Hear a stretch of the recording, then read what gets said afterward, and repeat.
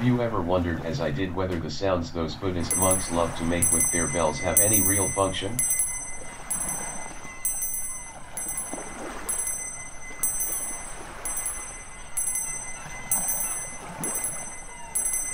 An old tradition.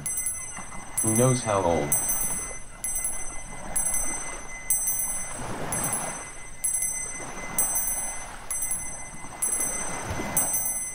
I was walking on the beach when I spotted this unusual sight.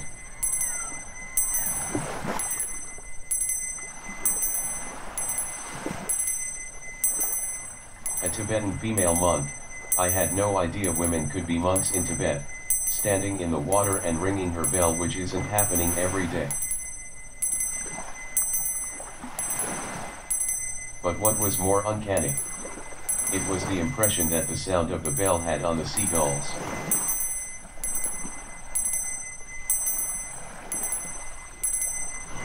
Within short a bunch of seagulls enchanted by the incessant ringing surrounded the monk and weren't going away.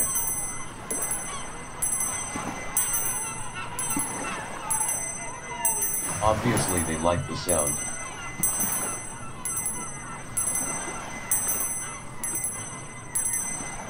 Although nobody else did.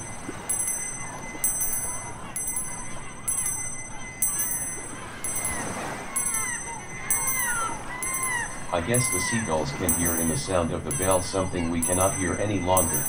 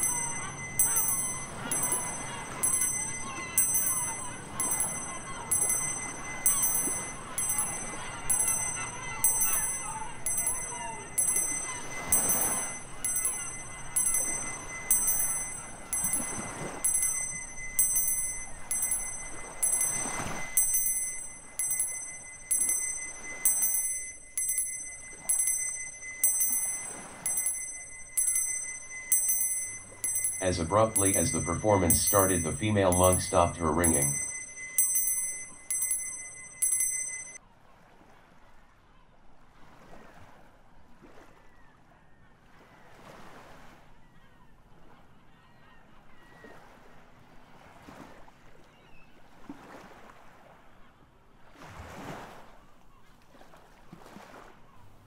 Picked up her stuff and headed towards the exit from the beach.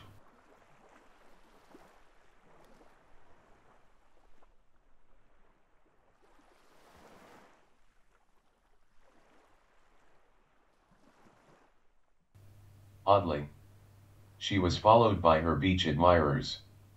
The still enchanted seagulls.